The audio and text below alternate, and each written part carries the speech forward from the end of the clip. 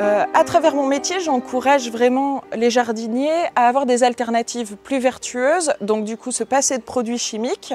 Et donc euh, notamment, par exemple, pour euh, tout ce qui est puceron, je vais encourager la mise en place de méthodes de lutte via des, auxiliaires de jardin, donc des larves de coccinelle, sensibiliser vraiment avec des hôtels insectes dès le plus jeune âge, de manière à encourager les gens à jardiner sans ces produits chimiques. Donc pour les pucerons, on les connaît bien, ces fameuses larves de coccinelle. Euh, les décoctions de prêle aussi, utiliser du savon noir plutôt qu'un un traitement chimique euh, pour, lutter euh, contre les maladies. pour la biodiversité, j'aime utiliser des ateliers concrets pour montrer l'importance des insectes au jardin et le danger qui pourrait se présenter si jamais ces insectes et cette biodiversité disparaissaient. Donc j'ai plusieurs euh, cordes à mon arc, si je peux dire.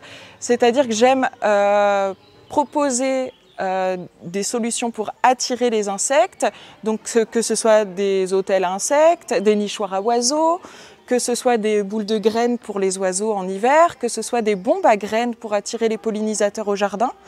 Euh, donc avec euh, l'importance de certaines espèces, par exemple la facélie qui a euh, de, grandes vertus, c'est un engrais vert, donc on va utiliser entre deux cultures, et c'est aussi un très très bon pollinisateur, enfin un très bon support de pollinisation. Et j'aime beaucoup aussi interagir avec les gens sur les différentes espèces. Donc, à savoir qu'il n'y a pas de mauvaises herbes, sensibiliser là-dessus. Euh, chaque herbe a son utilité et parfois les plantes sauvages peuvent se montrer comestibles ou très très intéressantes, euh, euh, notamment comme remède de grand-mère ou même en usage de potions. Par exemple, l'ortie peut se déguster à travers des soupes, des pestos d'ortie, donc avec les jeunes tiges. Donc l'intérêt est aussi d'apporter ces connaissances euh, au public et aussi euh, à travers des, purins, des décoctions, de montrer que l'ortie a vraiment sa place au jardin. Et donc ça, ça se passe avec beaucoup, beaucoup de plantes qu'on appelle des mauvaises herbes, euh, qui sont aussi dites des adventistes, contre lesquelles on a beaucoup lutté dans les années 70, 80, 90, et pour lesquelles maintenant on est en train de changer un peu notre fusil d'épaule et considérer que chaque plante a son utilité. Je trouve que c'est très important auprès du public d'inscrire cette idée que les plantes locales sont notre richesse.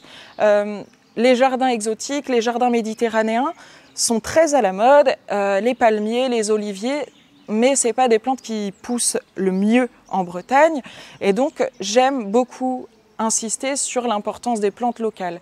Et aussi, à travers mes achats, de montrer que les achats en pépinière auprès de producteurs locaux sont vraiment la richesse de notre territoire. On a la chance d'avoir un climat qui permet d'avoir un panel de végétaux qui est très large. Et donc, euh, j'aime bien jouer avec ce panel. Je trouve que c'est très important de, de bénéficier de cette richesse et de ne pas avoir systématiquement le même jardin.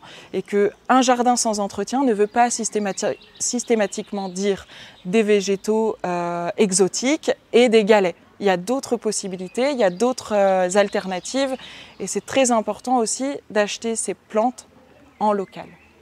Aujourd'hui, je suis au château de Trévarez à l'occasion des rendez-vous au jardin 2021. Donc, euh, le thème des rendez-vous au jardin est la transmission et le partage des savoirs. Et l'idée, c'est de faire aujourd'hui des bombes à graines avec le public, euh, histoire de transmettre euh, ce goût pour la biodiversité. Donc on va semer des graines de fleurs sauvages.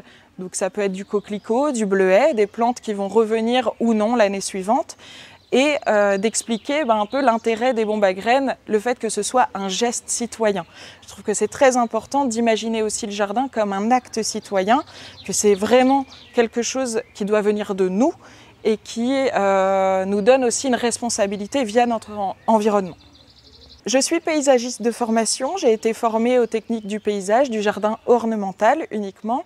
Euh, et au fil de, mes différents métiers, j'ai eu l'occasion de faire euh, un travail de fleuriste, donc avec de l'art floral, vraiment une touche artistique qui, me tient à cœur. J'ai été dessinatrice en bureau d'études, donc euh, l'idée c'était de faire des, travaux d'aménagement pour des, pour des jardins particuliers. Et maintenant, je suis animatrice d'atelier. L'idée est de transmettre et de partager ma vision du jardin, mon goût du jardin, ma passion, avec le plus grand nombre. Démocratiser ce goût du jardin.